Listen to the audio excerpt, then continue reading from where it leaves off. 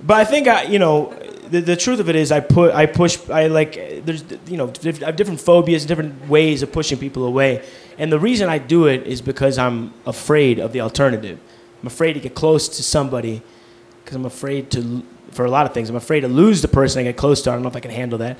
I'm afraid they can hurt me, they can betray me in a way that would, you know, fuck with my sense of self. I'm afraid they're gonna see parts of it. If they get past all the walls I built up for myself, they're gonna see parts of me that I haven't accepted, parts of myself that are flawed or fucked up or dark or broken or wrong or boring or inadequate or missing. They'll see parts of my personality that should be there but aren't are underdeveloped. You know, that, that, that, that terrifies me. So I push people away. And it's not good. It's not like in a fun, folksy way. Sometimes it's harsh. And I've done fucked up things and I have to reckon with that as a human being. You know, but it all comes from a, a under, an underlying fear. Like I'm terrified of what would happen if I was truly exposed.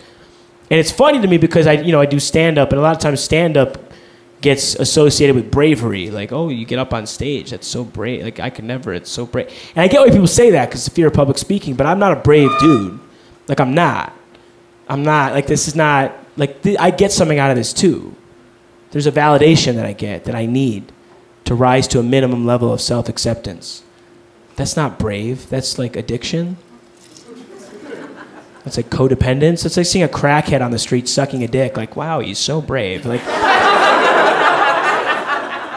I don't know if that's. It's risky. I don't know if it's brave. It's something else.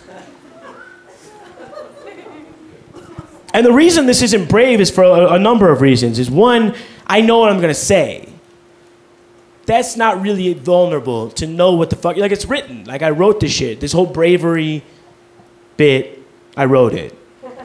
I'm just saying to you right now the words that I wrote somewhere on a notebook somewhere.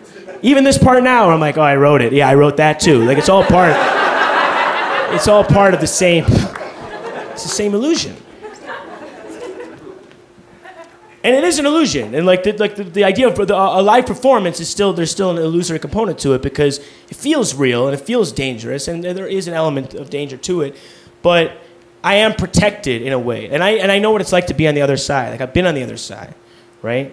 I used to watch stand up. I used to watch stand up on TV, and I, and I, that's what it got me into it because people would say some shit that I could relate to. I was like, and I felt connected to them, and I was like, oh my god, if I feel disconnected to that person, imagine how much how connected they must feel to everybody. So if I could just get to the other side, I would feel that from everyone else. And so I got here, and I'm so alone. Like it's like more so than I was. Like that's the thing it's you, I, you're not connected with me. I'm giving you some ideas and some thoughts and material and whatever, and that's yours to keep. That's yours to have. You could take it, you could forget about it, you could like it, you could hate it. It's yours. But that's not me. You can't confuse that with, with who, who I am. You know, and that's the thing is, you know, I, I this is a it's a barrier. Even the even the finding the funny in something is a barrier against the emotion behind the idea, right? Like I don't want to necessarily always find the funny angle in everything when it prevents me from dealing with it, if that makes sense. Like I don't want to write a bit about loneliness if I if it means I have to feel alone. Like I don't want to write a rant about love in the abstract without knowing what it is from the inside. Because I think love is the bravest thing a person can do. Like that is like truly like to, to let your guard down and let somebody see you and you see them, you accept their flaws, you orbit that barycenter of love together, knowing best case scenario, one of you is gonna watch the other one die. Not trying to bum anyone out, but that's fucking brave as shit. They tell you at the wedding, they're like, this ends in death. And you're like, yep. It's like, what the fuck? How? How do you do that? You accept your mortality and then eat cake? Like, that's crazy. I can't. I can't do that. I can't handle that level of intimacy. That's why I do this. That's why I can't call this brave, because this is me running from that shit. This is me establishing the same dynamic I established in a relationship. Right here. This show is, the, the is my ideal relationship.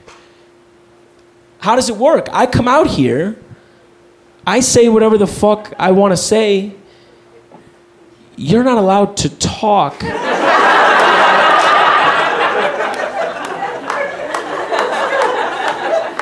we share an intense moment together. I get what I need. And then I leave. You guys have been phenomenal. Thank you so much. I hope you enjoyed it. I'm Drew Michael. Take care of your waist staff. Get home safe. Good night. Thank you.